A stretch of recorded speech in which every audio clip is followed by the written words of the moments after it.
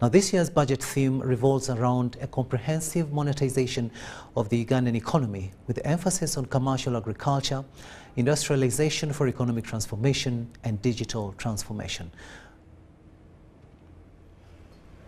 The introduction of the 52.7 trillion budget for the financial year 2023-24 coincides with the commencement of the budget month. So you, the citizens would want you to tell us where are the issues in revenue mobilization?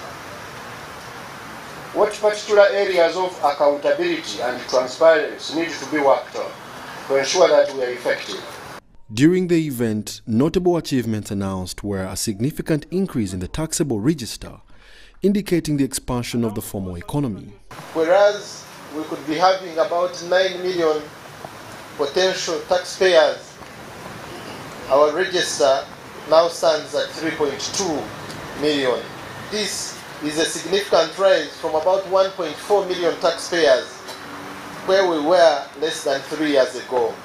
Positive signs were observed in the global economy with decreasing inflation and a gradual recovery from the impact of the pandemic and geopolitical tensions. The global economic recovery has benefited from retreating global commodity prices due to the cooling off of tight monetary policies worldwide, although the effects of tight monetary policies have manifested in global banking sector.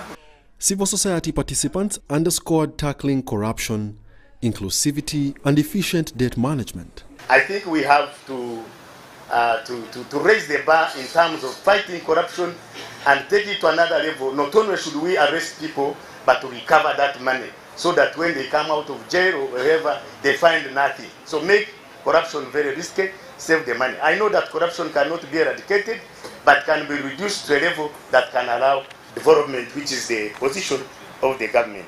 They called for the removal of non-performing projects. Non-performing projects, non-functional projects, slow-performing projects must be thrown out of a public investment management system. They are crowding out monies and also uh, reducing the fiscal space for us to spend. This goes along with the accounting officers that are managing these projects.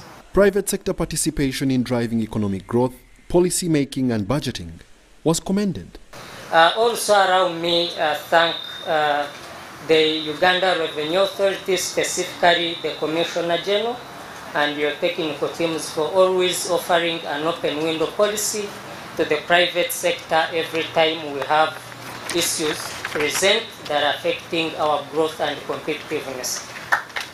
With the launch of the budget month, Uganda seems committed to advancing economic transformation while ensuring transparency and accountability in budgetary processes. Wadulo Mark Arnold, UBC News, in Kampala.